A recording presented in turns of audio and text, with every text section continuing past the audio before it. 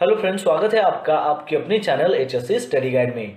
आज इस वीडियो में हम बात करने वाले हैं स्कैफोल्डिंग के बारे में। इसमें आपको स्कैफोल्डिंग के बारे में सारी डिटेल्स मिलने वाली है। इसमें हम जानने वाले हैं कि टाइप्स ऑफ़ स्कैफोल्ड क्या होता है टाइप्स ऑफ़ क्लैम क्या है टाइप्स ऑफ़ कंपलिंग क्या है टाइप्स ऑफ़ ब्रेसिंग क्या होते हैं टाइप्स ऑफ़ सेफ्टी नेट क्या है टैक्स सिस्टम क्या होती है स्कैफोल्डिंग के कंपोनेंट्स क्या है स्कैफोल्ड की रेटेड कैपेसिटी क्या होती है, और स्कैफोल्ड को हम कैसे इंस्पेक्ट कर सकते हैं। तो ये सारी जो इन्फॉर्मेशन है आपको इस वीडियो के माध्यम से मिलने वाली है। तो चलिए फिर वीडियो को स्टार्ट करते हैं।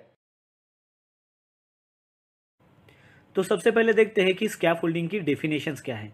स्कैफोल्डिंग एक टेम्पररी स्ट्रक्चर है, जिसकी वजह से आपको एक्सेस प्रोवाइड किया जाता है, जिसकी वजह से आपको वर्क प्लेटफॉर्म दिया जाता है आदमी को काम करने के लिए। या फिर स्कैफोल्डिंग का जो यूज़ है, वो सपोर्ट के तौर पर भी किया जाता है, जैसे कि मटेरियल सपोर्ट के लिए उसका यूज़ किया जाता है प्लांट और इक्विपमेंट के लिए भी सपोर्ट का इस्तेमाल किया जाता है। चलिए देखते हैं कि स्कैफोल्डिंग एक्टिविटी के वक्त हमें कौन से हजार्ड का सामना करना पड़ता है और उसमें क्या हजार्ड होते हैं। तो सबसे पहले है फॉल्स फ्रॉम एलिवेशन एलिवेशन से गिरने का खतरा स्ट्रक बाय इलेक्ट्रिक्यूशंस थर्ड है स्कैफोल्ड कोलैप्स पूरी की पूरी स्कैफोल्ड जो है वो कोलैप्स हो सकती है। बैड प्लैंकिंग यानी कि जो प्लैंक्स है, अगर आपने बराबर अगर नहीं रखे हैं तो भी वो एक हजार्ड है।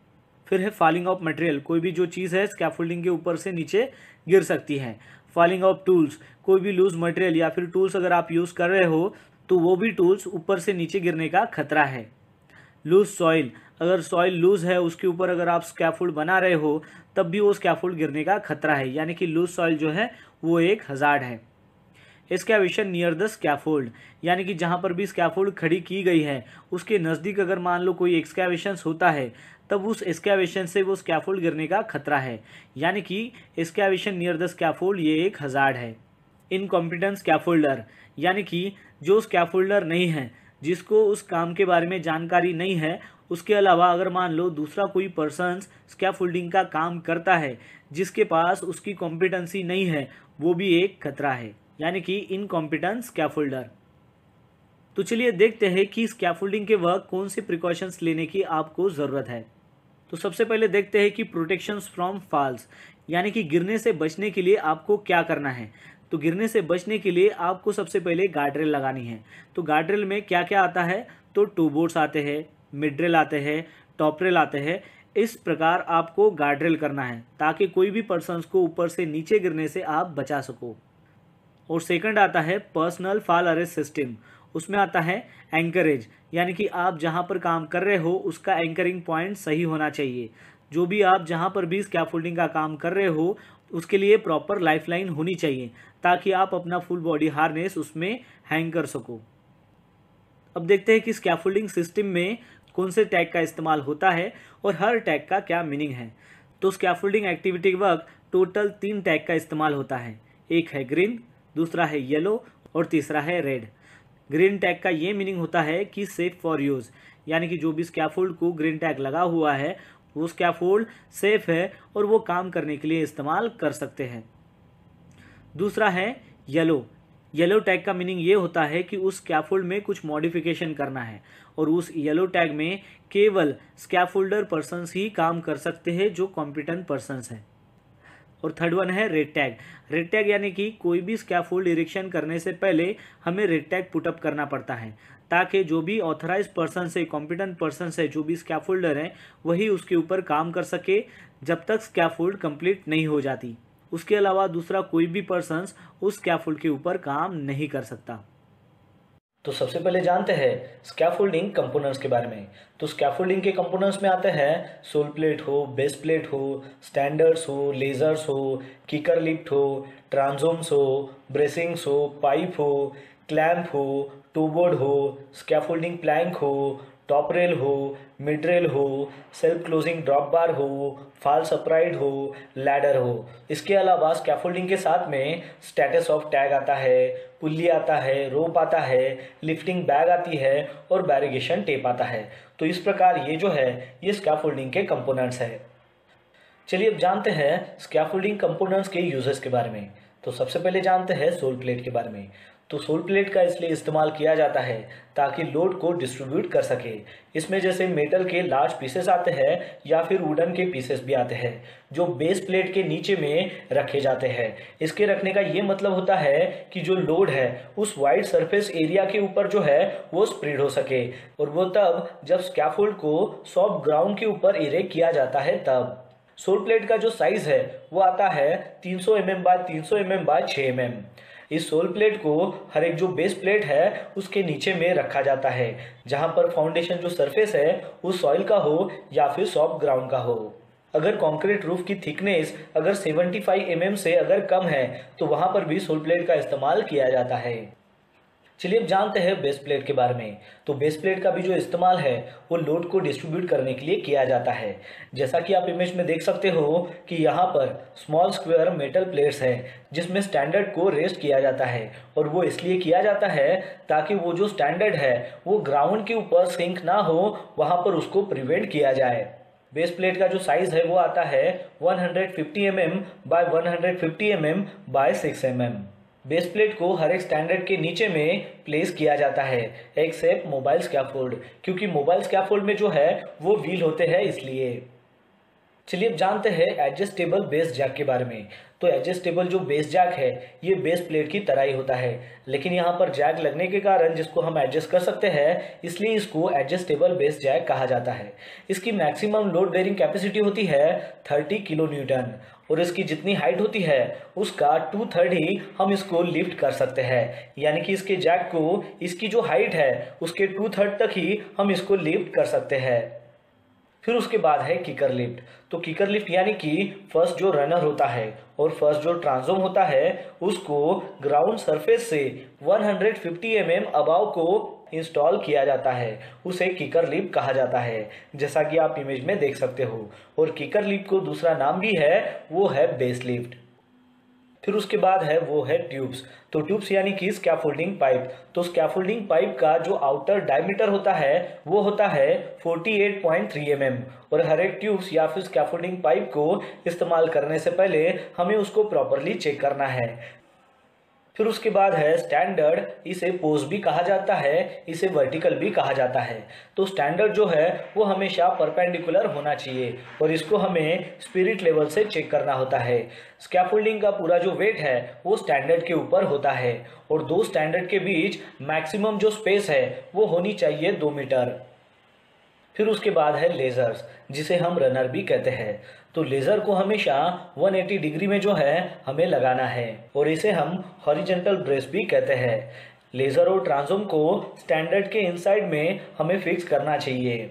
स्टैंडर्ड और लेज़र को ज्वाइंट करने के लिए हमेशा फिक्स क्लैम्प का यूज़ करना है। फिर उसके बाद है कि सेम वे में लेज़र के जो दो जॉइंट्स है, वो साथ में नहीं आना चाहिए।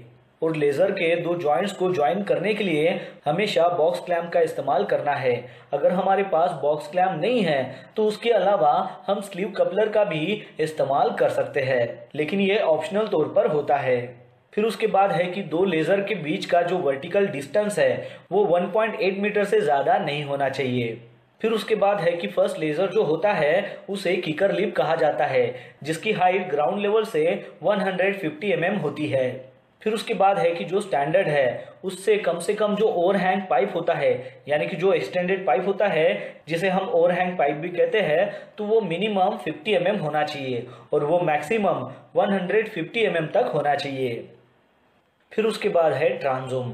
ट्रांसोम को हम बियरर भी कहते हैं। तो ट्रांसोम को हमेशा स्टैंडर्ड के इनसाइड में हमें प्लेस करना है और लेज़र के ऊपर हमें प्लेस करना होता है। ट्रांसोम को जब भी हम स्टैंडर्ड के साथ लगाते हैं तो वहाँ पर हमें फिक्स क्लैम्प का इस्तेमाल करना होता है। लेकिन ट्रांसोम को जब हम लेज़र के साथ लगाते हैं तो वहाँ पर हम स्वीवेल क्लैम्प का इस्तेमाल कर सकते हैं। ट्रांसोम पाइप जो है, जो भी प्लेटफॉर्म है, उसके नीचे में हर एक 1.5 मीटर पर हमें लगाना होता है। यानी कि दो ट्रांसोम पाइप के बीच में जो डिस्टेंस होता है, वो मैक्सिमम 1.5 मीटर का होना चाहिए। फिर उसके बाद है कि लेजर से जो ट्रांसोम पाइप बाहर निकलता है, यानी कि जिसे हम ओवरहैंग पाइप कहते हैं तो वो मिनिमम 50 एम mm होना चाहिए और मैक्सिमम 150 एम mm होना चाहिए। फिर उसके बाद है कि ट्रांसोम के ऊपर जब आप प्लैंक डालते हो एज अ वर्किंग प्लेटफॉर्म के लिए तो उस ट्रांसोम की जो लोड कैपेसिटी है, यानी कि जो वर्किंग प्लेटफॉर्म है, उसका वेट जो है, वो उसने बेयर करना चाहिए। फिर उसके बाद है ब्रेसिंग तो ब्रेसिंग जो है, ये एक डायगोनली ट्यूब्स होता है, जो स्कैफोल्डिंग स्ट्रक्चर को स्ट्रॉन्ग और स्टेबल बनाता है। ब्रेसिंग में लॉन्गिट्यूडनल भी ब्रेसिंग आते हैं और झिकझाक ब्रेसिंग भी आते हैं। जैसा कि आप इमेज में देख सकते हो कि यहाँ पर लॉन्गिट्यूडनल जो ब्रेसिंग है, वो लगाया हुआ है। और झिकजैक जो ब्रेसिंग होता है, वो झिकजैक वे में स्कैफोल्डिंग को सपोर्ट देता है, इसलिए उसको झिकजैक ब्रेसिंग कहा जाता है। फिर उसके बाद है स्कैफोल्डिंग कपलर या फिर स्कैफोल्डिंग क्लैम्प तो इसका जो इस्तेमाल है, वो दो स्कैफोल्डिंग के ट्यूब्स को एक साथ में ज्वाइन करने के लिए किया जाता है। तो इसमें सबसे पहला है राइट एंगल कपलर जिसे फिक्स क्लैम्प भी कहा जाता है। तो इसकी जो लोड कैपेसिटी है, ये इसके क्लास के ऊपर डिपेंड होती है।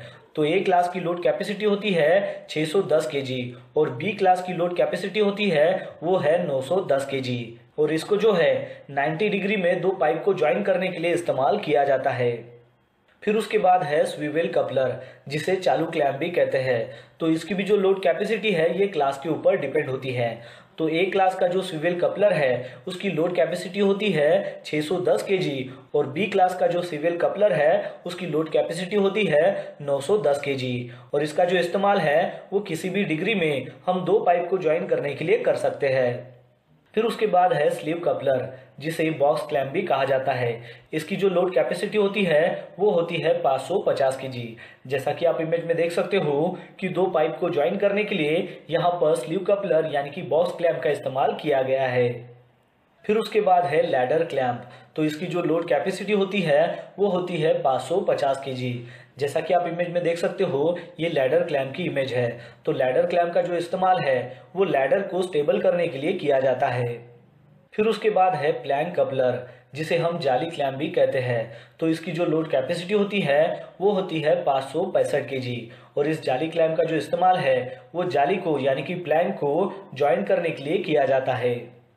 फिर उसके बाद है पुटलॉक कपलर तो इसकी जो लोड कैपेसिटी होती है, वो होती है सिक्सटी थ्री के जी तो आप इमेज में देख सकते हो कि पुटलॉक का दो पाइप को ज्वाइन करने के लिए इस्तेमाल किया गया है।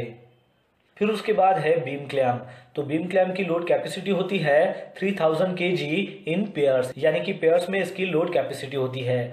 तो ये अलग अलग साइज़ में आता है। जैसे कि 50 M M seventy five M M hundred M M और बीम क्लैम का जो इस्तेमाल है, वो बीम में अगर हमें कोई सपोर्ट अगर लगाना है तो इस बीम क्लैम की मदद से हम वो लगा सकते हैं। फिर उसके बाद है लैडर। लैडर जो है, ये एक पीस ऑफ़ इक्विपमेंट है, जिसका इस्तेमाल नीचे से ऊपर और ऊपर से नीचे आने के लिए किया जाता है। लैडर का इस्तेमाल अगर वर्किंग प्लेटफॉर्म में किया जाता है तो उस वर्किंग प्लेटफॉर्म के ऊपर में लैडर जो है, वो प्रोजेक्टेड होनी चाहिए कम से कम तीन रंग्स यानी कि एटलीस्ट 1.05 मीटर अबाव होनी चाहिए। फिर उसके बाद है स्कैफोल्ड प्लैंक तो स्कैफोल्ड जो प्लैंक है उसमें कोई भी डिफेक्ट नहीं होना चाहिए या फिर उसके ऊपर कोई भी कोरोजन नहीं होना चाहिए इसका साइज़ आता है 2100 सौ एम एम बाय दो सौ अस्सी एम एम बाय अड़तीस एम एम स्कैफोल्डिंग जो प्लैंक है वो थ्री थिकनेस में आता है सबसे पहला है 38 एट mm, दूसरा है 50 एम mm और तीसरा है 63 थ्री mm. ट्रांसोम से इस स्कैफोल्डिंग प्लैंक का मिनिमम ओवरहैंग होना चाहिए 50 एम mm और मैक्सिमम ओवरहैंग होना चाहिए 150 एम mm. लेकिन अगर यहाँ पर स्कैफोल्डिंग प्लैन की अगर थिकनेस अलग अलग है तो ये रेट भी बढ़ सकता है। जैसे कि अगर स्कैफोल्डिंग प्लैन की अगर थिकनेस 38 एट mm है तो वो हो जाएगा 152 mm अगर उसकी थिकनेस 50 mm है तो वो हो जाएगा 200 mm और अगर उसकी थिकनेस 63 mm है तो वो हो जाएगा 250 mm ट्रांसोम पाइप जो है वो हमेशा जो वर्किंग प्लेटफॉर्म है, उसके नीचे में हमें 1.5 मीटर के डिस्टेंस पर ही लगाना है, ताकि स्कैफोल्डिंग प्लान को हम ज़्यादा से ज़्यादा वहाँ पर सपोर्ट दे सके। स्कैफोल्डिंग प्लान जो है, वो मेटल में भी आती है और वुड में भी आती है। फिर उसके बाद है प्लेटफॉर्म। तो प्लेटफॉर्म जो है वो थ्री टाइप्स में आता है। तो सबसे पहला है सर्विस प्लेटफॉर्म वो हो सकता है, या फिर एक्सेस के लिए दिया गया वो एक्सेस प्लेटफॉर्म हो, या फिर काम करने के लिए वो वर्किंग प्लेटफॉर्म हो। फिर उसके बाद है टॉप रेल, मिड रेल और toe board.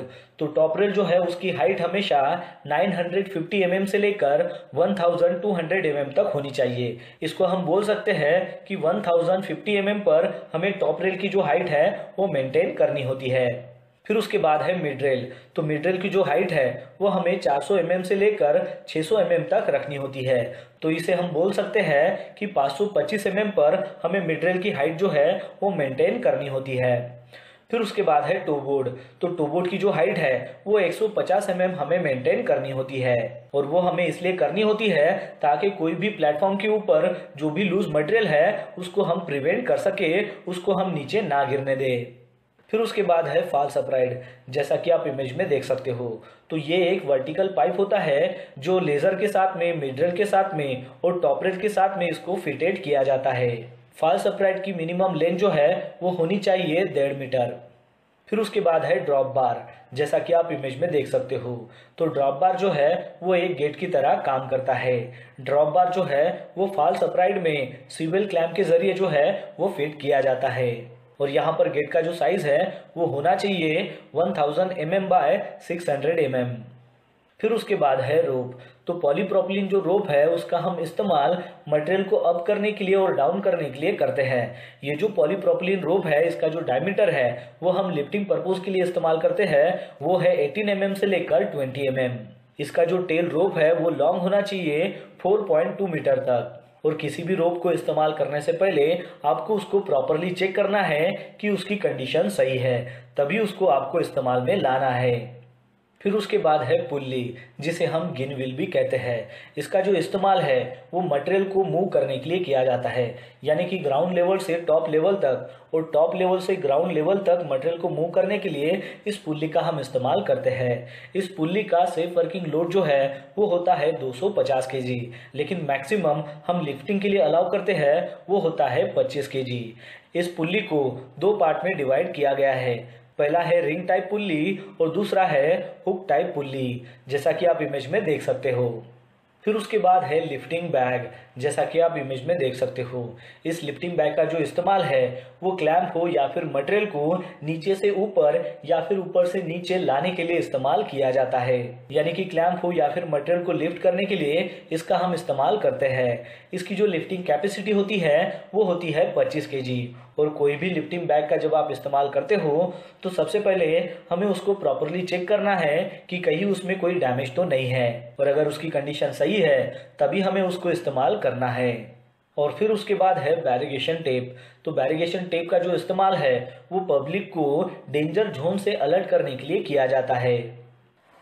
Types of scaffolding तो उसमें सबसे पहले हम देखने वाले हैं कि इंडिपेंडेंस स्कैफोल्डिंग क्या होती है। फिर उसके बाद हम जानेंगे कि बर्ड केस स्कैफोल्डिंग क्या होती है। फिर उसके बाद हम जानने वाले हैं कि कैंटीलेवर स्कैफोल्डिंग क्या होती है।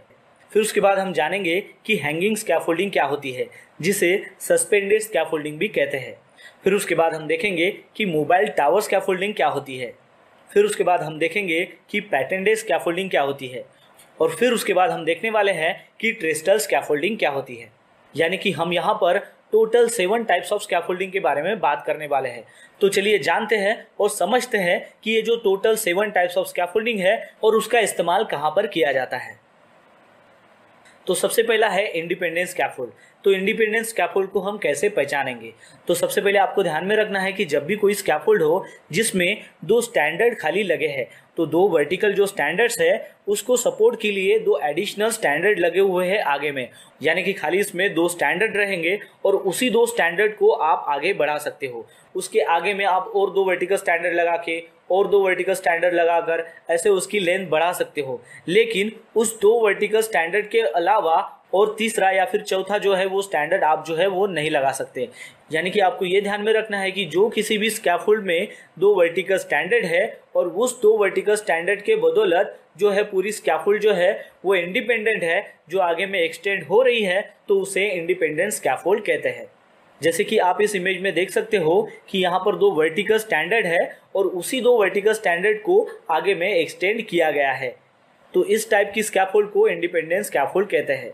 एग्ज़ाम्पल के तौर पर देखिए, जब भी आप किसी बिल्डिंग कंस्ट्रक्शन में काम करते हो तो उस बिल्डिंग के सराउंडिंग में जब भी कोई पेंटिंग का काम हो या फिर मिशनरी का काम हो तो उस बिल्डिंग के सराउंडिंग में दो वर्टिकल के सहारे उस पूरी स्कैफोल्ड को कनेक्ट किया जाता है। तो उस स्कैफोल्ड को इंडिपेंडेंस स्कैफोल्ड कहते हैं। चलिए अब जानते हैं कि बर्ड्स के स्कैफोल्ड क्या होता है। और उसको हम कैसे पहचानेंगे?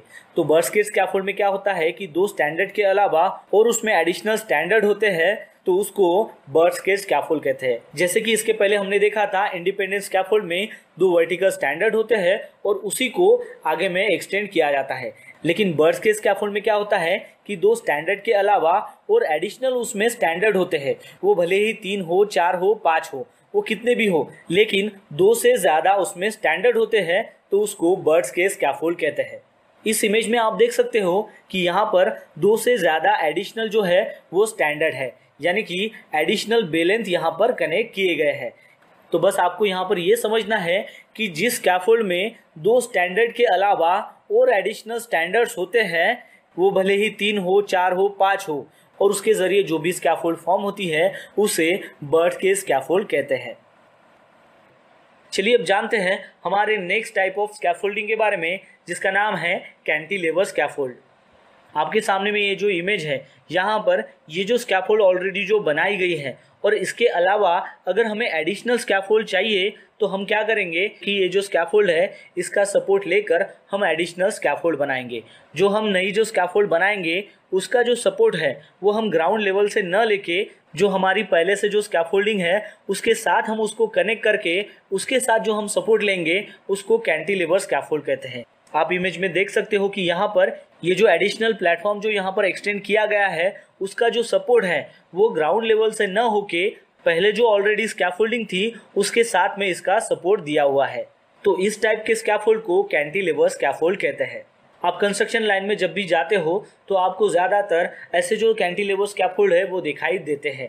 तो बस सिंपली आपको ये देखना है कि जो भी स्कैफोल्ड है, उस स्कैफोल्ड में एडिशनली अगर कोई वर्किंग प्लेटफॉर्म अगर बना रहे हैं, और उस एडिशनल वर्किंग प्लेटफॉर्म का जो सपोर्ट है, वो ग्राउंड लेवल से न देकर उसी स्कैफोल्ड के साथ में उसका सपोर्ट जो है, वो दे रहे हैं तो उस टाइप के स्कैफोल्ड को कैंटिलेवर स्कैफोल्ड कहते हैं। चलिए अब जानते हैं हमारे नेक्स्ट टाइप ऑफ़ स्कैफोल्डिंग के बारे में, जिसका नाम है हैंगिंग स्कैफोल्ड जिसको सस्पेंडेड स्कैफोल्ड भी कहते हैं। हैंगिंग स्कैफोल्ड यानी कि लटका हुआ स्कैफोल्ड यानी कि सस्पेंडेड स्कैफोल्ड जिसको नीचे से कोई भी सपोर्ट नहीं है, उसका जो टोटल सपोर्ट है, वो डायरेक्ट ऊपर से है। एग्ज़ाम्पल के तौर पर आपके सामने में ये जो इमेज दिखाई दे रही है, इसमें जो स्कैफोल्ड बनी हुई है, वो नीचे से न बनकर ऊपर से बन के आई है। यानी कि ऊपर वाला जो सपोर्ट है, वहाँ से ये जो स्कैफोल्ड है, वो बन के नीचे आई है। और ये जो स्कैफोल्ड है, ये आप देख सकते हो कि ये हैंगिंग है। यानी कि ये सस्पेंडेड है। तो इस प्रकार की जो स्कैफोल्डिंग होती है, उसको ऊपर से बनाकर नीचे आते हैं। और वर्कर भी यहाँ पर जब भी उस कैफोल्डिंग को बनाते हैं तो उस बनाते वक्त वो भी हैंगिंग कंडीशन में उसको बनाते हैं। तो ये जो हैंगिंग स्कैफोल्ड है, इसमें नीचे में जो सस्पेंडेड प्लेटफॉर्म है, उसके ऊपर आदमी खड़ा होकर फिर आसानी से काम कर सकता है। और एक एग्ज़ाम्पल है सस्पेंडेड स्कैफोल्डिंग का। आपके सामने में ये जो इमेज दिखाई दे रही है, इसमें एक झूला है। और ये जो झूला है, यानी कि ये एक सस्पेंडेड प्लेटफॉर्म है, जिसके ऊपर आदमी खड़ा होकर काम कर सकता है। तो ये जो सस्पेंडेड प्लेटफॉर्म है, इसका इस्तेमाल ज़्यादातर शीट लगाने के लिए या फिर पेंटिंग करने के लिए इस्तेमाल किया जाता है।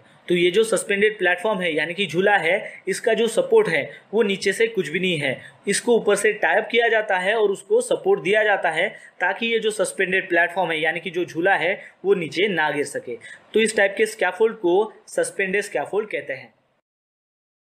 फिर उसके बाद का हमारा स्कैफोल्डिंग है, वो है mobile tower scaffold mobile tower scaffold जो है, वो एक जगह से दूसरी जगह मूव करने के लिए बनाया जाता है, जिसका इस्तेमाल ज़्यादातर लोअर हाइट में, यानी कि तीन मीटर की हाइट हो, चार मीटर की हाइट हो, पाँच मीटर या छः मीटर। तो इतने हाइट पर अगर आपको कोई भी पेंटिंग का काम हो या फिर मिशनरी का काम हो तो वो काम करने के लिए मोबाइल टावर स्कैफोल्डिंग का इस्तेमाल किया जाता है। इस मोबाइल टावर स्कैफोल्डिंग को आप एक जगह से दूसरी जगह शिफ्ट कर सकते हो, क्योंकि इस मोबाइल टावर स्कैफोल्ड में नीचे में व्हील लगाए जाते हैं और उस व्हील के ज़रिए आप इजीली उस मोबाइल टावर को एक जगह से दूसरी जगह शिफ्ट कर सकते हो और अपना काम जो है वो जल्दी से कर सकते हो। फिर उसके बाद का स्कैफोल्डिंग टाइप है, वो है पैटेंडेड स्कैफोल्डिंग पैटेंडेड जो स्कैफोल्डिंग है, वो फुल्ली जो है, वो स्टील से बनी हुई रहती है, जिसमें स्पेशल कपलिंग और फ्रेम्स होती है. और ये जो स्कैफोल्ड है, ये रेडीमेड स्कैफोल्ड आती है, जो मार्केट में भी आपको इजीली अवेलेबल मिल जाती है. इस टाइप के स्कैफोल्डिंग में ब्रैकेट्स होते हैं और उस ब्रैकेट्स के ऊपर आप वर्किंग प्लेटफॉर्म जो है, वो इजीली फॉर्म कर सकते हो। और ये जो वर्किंग प्लेटफॉर्म होता है, वो एडजस्टेबल होता है। यानी कि आप इजीली जिस रिक्वायर्ड लेवल पर आपको काम करना है, वहाँ पर उसको एडजस्ट कर सकते हो। फिर उसके बाद का जो टाइप ऑफ़ स्कैफोल्डिंग है, वो है ट्रेस्टल स्कैफोल्डिंग तो इस टाइप की जो भी स्कैफोल्डिंग होती है, उस स्कैफोल्डिंग का जो वर्किंग प्लेटफॉर्म है, उसको सपोर्ट दिया हुआ रहता है ट्राईपॉड से या फिर लैडर से। और वो जो ट्राईपॉड या फिर लैडर हो, वो मूवेबल होती है। तो इस टाइप के स्कैफोल्डिंग के ऊपर ज़्यादातर जो काम है, वो रूम के अंदर किया जाता है। जैसे कि कोई पेंटिंग्स हो या फिर रिपेयर्स हो, इस टाइप के जो भी छोटे मोटे काम होते हैं, वो इस स्कैफोल्डिंग के ज़रिए किए जाते हैं। ये कपलिंग होता क्या है? स्कैफोल्डिंग में सबसे इंपॉर्टेंट इक्विपमेंट जो है, वो कपलिंग होता है। कपलिंग का जो इस्तेमाल है वो एक पाइप से दूसरे पाइप को कनेक्ट करने के लिए या फिर स्ट्रक्चर को कनेक्ट करने के लिए किया जाता है। चलिए अब जानते हैं कि टाइप्स ऑफ़ कपलिंग यानी कि क्लैम्स कितने होते हैं। तो सबसे पहला है सिंगल कपलर यानी कि पुट लॉक कपलर फिर उसके बाद है प्लैंक कपलर जिसे जाली क्लैम भी कहा जाता है और साथ ही साथ उसको बीआरसी भी कहा जाता है। बीआरसी यानी कि बोर्ड रिटेंशन कपलर फिर उसके बाद है डबल कपलर जिसे राइट एंगल कपलर भी कहा जाता है, यानी कि जिसे फिक्स क्लैम भी कहते हैं। फिर उसके बाद है स्वीवेल कपलर यानी कि जिसे चालू क्लैम भी कहते हैं। फिर उसके बाद है ग्रेडर कपलर जिसे बीम क्लैम भी कहा जाता है। फिर उसके बाद है लैडर कपलर फिर उसके बाद हम देखने वाले हैं स्लीव कपलर जिसे हम बॉक्स क्लैम भी कहते हैं। और फिर उसके बाद आता है जॉइंट पिन यहाँ पर हम total eight types of coupling के बारे में जानेंगे। यानी कि क्लैम्स के टोटल एट टाइप्स के बारे में आज हम यहाँ पर बात करने वाले हैं। तो सबसे पहला है सिंगल कपलर यानी कि पुट लॉक कपलर तो पुट लॉक कपलर का जो इस्तेमाल है, वो ट्रांसोम और टोबोट को कनेक्ट करने के लिए किया जाता है। जैसा कि आप इमेज में देख सकते हो। फिर उसके बाद है प्लैंक कपलर, जिसे जाली क्लैम भी कहा जाता है, और साथ ही साथ उसको बीआरसी भी कहा जाता है। बीआरसी यानी कि बोर्ड रिटेंशन कपलर। इस बीआरसी का जो इस्तेमाल है, यानी कि ये जो जाली क्लैंप है, इसका जो इस्तेमाल है, वो एक प्लैंक को दूसरे प्लैंक के साथ में स्टेबिलिटी मिलनी चाहिए, इसके लिए इसका इस्तेमाल किया जाता है। इस क्लैंप की सेफ़ वर्किंग लोड कैपेसिटी होती है पाँच सौ पैंसठ के जी फिर उसके बाद है डबल कपलर जिसे राइट एंगल कपलर भी कहा जाता है। इसका जो इस्तेमाल है, वो लेज़र यानी कि जो रनर है, उसको स्टैंडर्ड के साथ कनेक्ट करने के लिए किया जाता है। इसकी मैक्सिमम जो स्टैंडर्ड लोड कैपेसिटी होती है, वो होती है 610 केजी फिर उसके बाद है स्वीवेल क्लैम्प यानी कि चालू क्लैम्प इसका जो इस्तेमाल है, वो ब्रेसिंग और आउट रिगर को कनेक्ट करने के लिए किया जाता है। चालू क्लैम्प में क्या होता है कि ये दोनों साइड से जो है, वो रोटेट होता है। यानी कि वो दोनों साइड से जो है, वो घूम सकता है। इसलिए इसको चालू क्लैम कहते हैं। इसकी सेफ़ वर्किंग लोड कैपेसिटी होती है 610 केजी यानी कि राइट एंगल जो क्लैम्प है और स्वीवेल जो क्लैम्प है, इन दोनों की सेफ़ वर्किंग लोड कैपेसिटी जो है, वो 610 केजी है। फिर उसके बाद है ग्रेडर कपलर जिसे बीम क्लैम भी कहा जाता है। इसका जो इस्तेमाल है, वो बीम के साथ ट्यूब को कनेक्ट करने के लिए किया जाता है। और ये क्लैम्प इतना मज़बूत होता है कि इसकी सेफ़ वर्किंग लोड कैपेसिटी जो होती है, वो होती है तीन हज़ार के जी आपको एक बात यहाँ पर ध्यान में रखनी है कि बीम क्लैम्प जो है, वो सिंगल कभी नहीं लगता। इसके साथ में कभी भी दो क्लैम्प लगते हैं। इसलिए इसकी सेफ़ वर्किंग लोड कैपेसिटी जो है, वो तीन हज़ार के जी तक जाती है। फिर उसके बाद है लैडर कपलर इसका जो इस्तेमाल है, वो लैडर को स्कैफोल्डिंग के साथ में सिक्योर करने के लिए किया जाता है। और इसकी सेफ़ वर्किंग लोड कैपेसिटी जो है, वो होती है 550 केजी। फिर उसके बाद है स्लीव कपलर, यानी कि बॉक्स क्लैम्प स्लीव कपलर का जो इस्तेमाल है, वो एक स्टैंडर्ड को दूसरे स्टैंडर्ड के साथ में, वो चाहे वर्टिकल डायरेक्शन हो या फिर हॉरिजेंटल डायरेक्शन हो, उसको कनेक्ट करने के लिए किया जाता है। और इसकी जो सेफ़ वर्किंग लोड कैपेसिटी होती है, वो होती है 550 केजी। और फिर उसके बाद आता है जॉइंट पेन। इसका भी जो इस्तेमाल है, वो दो ट्यूब्स को कनेक्ट करने के लिए किया जाता है। चलिए अब हम बात करते हैं कि ब्रेसिंग के कितने टाइप्स होते हैं। तो ब्रेसिंग के टोटल चार टाइप होते हैं। उसमें सबसे पहला आता है क्रॉस ब्रेसिंग फिर सेकंड आता है कनी ब्रेसिंग फिर थर्ड में आता है स्वे ब्रेसिंग और फोर्थ में आता है प्लेन ब्रेसिंग तो आपको समझ में आ गया होगा कि ब्रेसिंग के कितने टाइप्स होते हैं। ब्रेसिंग के टोटल चार टाइप्स होते हैं, जिसमें हमने देखा cross bracing knee bracing sway bracing और प्लेन ब्रेसिंग चलिए अब देखते हैं कि सेफ्टी नेट कितने प्रकार के होते हैं। तो सेफ्टी नेट टोटल दो प्रकार की होती है, जिसमें पहली सेफ्टी नेट मैन को अरेस्ट करने के लिए बनाई जाती है और दूसरी जो सेफ्टी नेट है, वो मटेरियल को अरेस्ट करने के लिए बनाई जाती है। तो सबसे पहले जानते हैं कि मैन के लिए जो सेफ्टी नेट प्रोवाइड की जाती है, उसका जो होल का डाया होता है, वो हंड्रेड एम mm होता है और उसका जो रोप होता है, वो आठ एम mm का होता है। और जो मटेरियल अरेस्ट करने के लिए सेफ्टी नेट का इस्तेमाल करते हैं, उस सेफ्टी नेट का होल का जो डाया होता है, वो पच्चीस एम mm होता है। और जो आउटलाइन रोप होता है, वो बारह एम का होता है। तो दोस्तों, ये जो स्कैफोल्डिंग रेटेड कैपेसिटी होती है, ये हम ओशा स्टैंडर्ड के हिसाब से देखने वाले हैं। OSHA 29 C F R nineteen के तहत जो ड्यूटीज़ होती है स्कैफोल्डिंग की, उसमें थ्री ड्यूटीज़ आती है। उसमें सबसे पहला आता है लाइट ड्यूटी फिर उसके बाद है मीडियम ड्यूटी और फिर उसके बाद आती है हेवी ड्यूटी ऐसे थ्री ड्यूटीज़ में इस स्कैफोल्डिंग को कैटेगराइज किया गया है। तो सबसे पहले आपको ये जानना ज़रूरी है कि ये जो स्कैफोल्डिंग की ड्यूटीज़ होती है, इसके लिए लगने वाला जो भी स्कैफोल्डिंग का मटेरियल है, वो प्रॉपर होना चाहिए। यानी कि उस मटेरियल का प्रॉपर जो है, वो स्पेसिफिकेशन होना चाहिए। उसी प्रॉपर स्पेसिफिकेशन के जो मटेरियल है, उसका ही आपको इस्तेमाल करना है स्कैफोल्डिंग को बनाने के लिए। अगर स्कैफोल्डिंग का जो मटेरियल है, वो अगर प्रॉपर नहीं रहेगा तो स्कैफोल्ड जो है, वो फेलर भी हो सकती है। तो इसलिए आपको जो स्कैफोल्डिंग का जो मटेरियल है, उसके ऊपर आपको पर्टिकुलर रहना है। मतलब मटेरियल का जो स्पेसिफिकेशन है, वो इस स्कैफोल्डिंग में बहुत ही इंपॉर्टेंट होता है। तो अगर हम बात करेंगे ट्यूबिंग कबला स्कैफोल्डिंग की तो उसमें स्कैफोल्डिंग जो पाइप है, वो अगर 40 एनबी का है एनबी यानी कि नॉमिनल बोर और उस पाइप का आउटर डाया 48 एट mm है, और उस पाइप की थिकनेस अगर 4 एम mm है तो उसके हिसाब से, यानी कि एज पर ओशा स्टैंडर्ड के हिसाब से, इस हम ड्यूटीज़ को कैटेगराइज करते हैं, जो है लाइट ड्यूटी मीडियम ड्यूटी और हेवी ड्यूटी और मैक्सिमम लेंथ ऑफ़ जो पाइप होती है, वो होती है सिक्स मीटर फिर अगर आपको अगर कम साइज़ का अगर पाइप चाहिए तो उसके लिए आपको मैन्युफैक्चर को रिकमेंडेशंस करना पड़ेगा। उसके हिसाब से मैन्युफैक्चर जो है, उस पाइप को कट करेगा और उस कट करने का जो है, वो सर्टिफिकेट जो है, वो आपको ला कर देगा। तो लाइट ड्यूटी में आता है कि स्कैफोल्ड की जो लेंथ है, वो अगर थ्री मीटर है और उसकी अगर विड्थ 1.25 मीटर है और उसकी हाइट अगर 2 मीटर है तो इस रेशो के हिसाब से उसका लाइट ड्यूटी जो कैपेसिटी हो जाता है, वो होता है 25 पाउंड्स पर स्क्वायर फीट इसको अगर हम केजी पर मीटर स्क्वायर में कन्वर्ट करेंगे तो आ जाएगा 122 केजी पर मीटर स्क्वायर और इसको हम अप्रोक्सीमेट 125 केजी पर मीटर स्क्वायर लिख सकते हैं।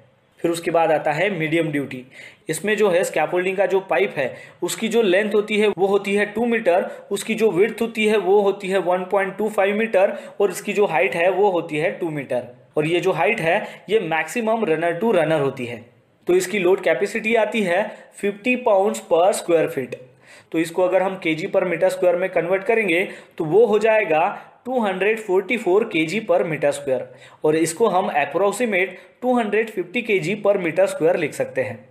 फिर और एक बात आपको यहाँ पर ध्यान में रखनी है कि लाइट ड्यूटी और मीडियम ड्यूटी के लिए जो आप पाइप का इस्तेमाल करते हो, यानी कि 40 एन यानी कि 48 एम mm का जो डाया आउटर साइड का होता है 4 एम mm थिकनेस वाला जो पाइप होता है, लेकिन हेवी ड्यूटी के लिए ओशास कहता है कि वहाँ पर आपको 50 एम mm का जो डाया वाला जो स्कैफोल्डिंग पाइप है, उसका इस्तेमाल करना है इंस्टीड ऑफ़ फोर्टी एम के जो डाया का जो पाइप है, उससे।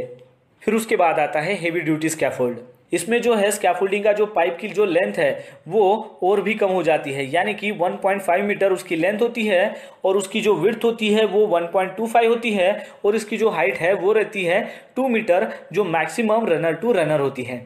और इसकी जो लोड कैपेसिटी होती है, वो होती है 75 पाउंड्स पर स्क्वायर फीट इसको अगर हम के पर मीटर स्क्वायर में कन्वर्ट करेंगे तो वो हो जाएगा 366 kg पर मीटर स्क्वायर और इसको अप्रोक्सीमेट हम 375 kg पर मीटर स्क्वायर लिख सकते हैं। तो इस प्रकार आपको लाइट ड्यूटी मीडियम ड्यूटी और हेवी ड्यूटी में कितना लोड कैपेसिटी होना चाहिए पर मीटर स्क्वायर पे वो पता चल गया है। अब जैसे जैसे लोड इंक्रीज हो जाता है, वैसे वैसे बे की जो लेंथ है, वो डिक्रीज हो जाती है। यानी कि 125 केजी का लोड अगर आपको रखना है तो उसके लिए आपको जो बे की लेंथ है, वो थ्री मीटर रखनी पड़ती है। यानी कि उसकी जो लेंथ है, वो थ्री मीटर होनी चाहिए। लेकिन अगर उसका लोड अगर बढ़ जाता है, यानी कि 250 केजी अगर आपको लोड उसके ऊपर रखना होता है तो उसके लिए उसकी जो बे लेंथ है, वो और कम हो जाती है। यानी कि वो टू मीटर लेंथ हो जाती है। और फिर उसमें हमें एडिशनल सपोर्ट देना होता है, ताकि वो जो स्कैफोल्ड है, वो उस लोड को बेयर कर सके। अब ये जो हमने लाइट ड्यूटी में उसका लोड कैपेसिटी देखा है 125 केजी पर मीटर स्क्वायर तो ये जो है, ये केजी पर मीटर स्क्वायर में है। लेकिन हमें ये पता होना चाहिए कि वन वे में कितना लोड जो है, वो हम उसके ऊपर रख सकते हैं। अब ये वन वे क्या होता है कि एक पाइप जो है जो हॉरिजेंटल है, यानी कि जो आपके सामने वाला जो ऐसा पाइप रहता है स्कैफोल्डिंग का हॉरिजेंटल कंडीशंस में और उसके साइड में जो दूसरा पाइप है, जिसकी जो विड्थ है, वो है 1.25 मीटर तो इसको अगर हम कनेक्ट कर लेंगे तो हमें वन बे मिल जाएगा। तो चलिए अब कैलकुलेट करते हैं कि टोटल लोड एक वन बे के ऊपर कितना आता है। तो उसका जो फार्मूला है, वो है लेंथ मल्टीप्लाई बाय विड्थ तो लेंथ यहाँ पर है three metre multiply by width जो है वो है 1.25 मीटर तो इसका अगर हम कैलकुलेशन करेंगे तो हमें आंसर मिलेगा 3.75 मीटर स्क्वायर और फिर उसके बाद हमें ये जो 3.75 मीटर स्क्वायर है, उसको मल्टीप्लाई करना होगा 125 केजी पर मीटर स्क्वायर से. तो उसका जो आंसर आएगा, वो रहेगा 468 केजी यानी कि वन बे में टोटल हम 460 केजी जो है, वो लोड रख सकते हैं। यानी कि वो उसकी सेफ़ वर्किंग लोड कैपेसिटी उतनी हो जाती है। अब हम समझने के लिए ये जो 468 केजी है, इसको सेग्रीगेट करते हैं। यानी कि उस कैफोल्डिंग प्लेटफॉर्म के ऊपर कितने पर्सन या फिर कितना जो टूल्स एंड टैकल्स है, वो हम उस प्लेटफॉर्म के ऊपर रख सकते हैं। तो 468 केजी, यानी कि हम दो पर्सन और 250 केजी का टूल्स एंड टैकल्स या फिर लोड रख सकते हैं, या फिर थ्री पर्सन और 150 केजी का लोड उसके ऊपर रख सकते हैं, या फिर फोर पर्सन और 50 केजी का लोड जो है, वो उसके ऊपर रख कर वहाँ पर काम कर सकते हैं।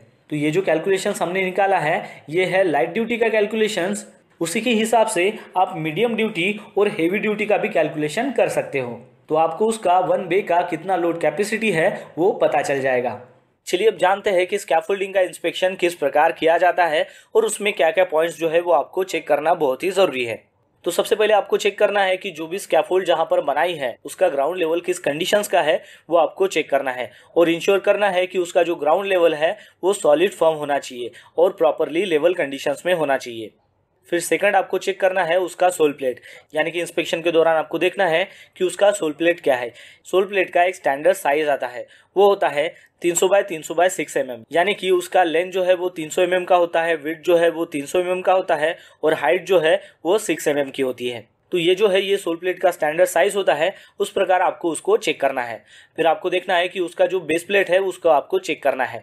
उसमें भी आपको ये चेक करना है कि वो जो बेस प्लेट है, वो डायरेक्ट ज़मीन पर नहीं होना चाहिए, वो सोल प्लेट के ऊपर होना चाहिए। और उस बेस प्लेट का जो साइज़ है, वो 150 बाय 150 बाय 6 एम का होना चाहिए। यानी कि उसकी जो लेंथ है, वो 150 एम mm होना चाहिए विथ जो है, वो 150 होना चाहिए, और उसकी जो हाइट है, वो 6 एम mm होना चाहिए। फिर आपको चेक करना है कि उसका जो स्टैंडर्ड है, वो अच्छी कंडीशंस में है कि नहीं है और वो जो स्टैंडर्ड्स है, वो लेवल है कि नहीं है, वो भी आपको चेक करना है। फिर आपको देखना है कि जो भी लेजर्स वहाँ पर लगाए गए हैं, वो प्रॉपरली क्लैम्प है कि नहीं है, वो भी आपको देखना है। फिर आपको देखना है कि जो भी ट्रांसफॉर्म्स वहाँ पर यूज़ किए गए हैं, वो जो ट्रांसफॉर्म्स है, वो अच्छी कंडीशंस में है और वो प्रॉपरली जो है, वो उसको टाइट किया गया है। फिर आपको देखना है कि जो भी कपलर्स वहाँ पर इस्तेमाल किए गए हैं, वो कहीं पर लूज तो नहीं है, वो भी आपको देखना है। और इंश्योर करना है कि वो जो सारे कपलर्स है, वो टाइट किए गए हैं। फिर आपको देखना है कि जो भी प्लैंक्स वहाँ पर इंस्टॉल किए गए हैं वर्किंग प्लेटफॉर्म के लिए, यानी कि जिसे हम बोर्ड भी कहते हैं तो वो अच्छी कंडीशंस में है और वो जो वर्किंग प्लेटफॉर्म है, वो टोटली कवर किया गया है। और वो जो प्लैंक्स है, उनके बीच में ज़्यादा गैप नहीं होनी चाहिए, ताकि उसमें से कोई भी जो टूल्स है, वो नीचे गिर ना सके। फिर उसके बाद आपको इंस्पेक्ट करना है टोबोर्ड को। यानी कि उस वर्किंग प्लेटफॉर्म में टोबोर्ड अवेलेबल है क्या, वो आपको इंश्योर करना है। और वो जो टूबोर्ड है, उसका जो हाइट है वो सिक्स इंच होना चाहिए। यानी कि 150 फिफ्टी mm उसका हाइट होना चाहिए। फिर उसके बाद आपको देखना है कि जो भी गार्डरेल्स वहाँ पर लगाए गए हैं, जो स्टैंडर्ड उसकी हाइट है, वो मेंटेन की गई है। गार्डरेल को टॉप रेल भी कहते हैं और टॉप रेल की जो हाइट है, वो होती है 950 mm से लेकर 1200 mm तक। तो वो जो हाइट है, वो वहाँ पर मेंटेन है कि नहीं है, वो आपको चेक करना है। फिर आपको इंस्पेक्ट करना है मिड्रेल का, यानी कि जो मिड्रेल है, वो 450 से लेकर 600 mm तक उसकी हाइट मेंटेन की गई है कि नहीं है, वो भी आपको उसमें चेक करना है। फिर उसके बाद आपको इंस्पेक्ट करना है लैडर का। और आपको उसमें चेक करना है कि वो जो लैडर है, वो 75 डिग्री में मेंटेन किया है कि नहीं किया वो आपको चेक करना है। साथ ही में आपको देखना है कि उसका जो रेशो है, वो फोर एस टू वन है कि नहीं है। फिर उसके बाद आपको ये भी ध्यान में रखना है कि लैडर का जहाँ पर लैंडिंग प्लेटफॉर्म है, उससे उसकी जो हाइट है, वो मिनिमम वन मीटर अप होना चाहिए और मिनिमम उसमें तीन रंग्स होना चाहिए। ताकि जब भी उसका इस्तेमाल आप करो तो ऊपर से जब कोई भी पर्सन नीचे आए, या फिर नीचे से कोई भी पर्सन अगर ऊपर जाए तो वो इजीली उस लैडर का इस्तेमाल करे और वो सेफली उस प्लेटफॉर्म पर रीच हो सके। तो ये जो सारे पॉइंट्स है, वो आपको चेक करना है और इसी प्रकार आपको स्कैफोल्डिंग का इंस्पेक्शन करना तो दोस्तों, आशा करता हूँ कि आपको इस वीडियो के माध्यम से पता चल गया होगा स्कैफोल्डिंग के सारे डिटेल्स के बारे में। तो बस आज के लिए इतना ही, मिलता है नेक्स्ट वीडियो में एक नए टॉपिक के साथ में। तब तक के लिए टेक केयर बाय बाय